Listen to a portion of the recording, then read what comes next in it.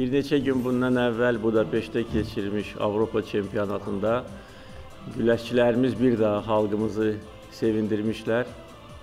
Böyük qələbə ilə vətənə qayıtmışlar. 16 medal qazanmış idmançılar bir daha Azərbaycan idman şöhrətini yüksəklərə qaldırmışlar. Bu medalların birini qadın idmançımız qazandı.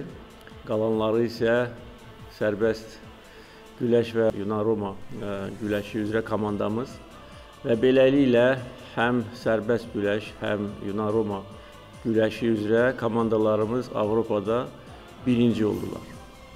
Bu böyük qələbədir, böyük nailiyyətdir. Avropada birinci olmaq, istənilən idman növündə birinci olmaq böyük uğur hesab oluna bilər.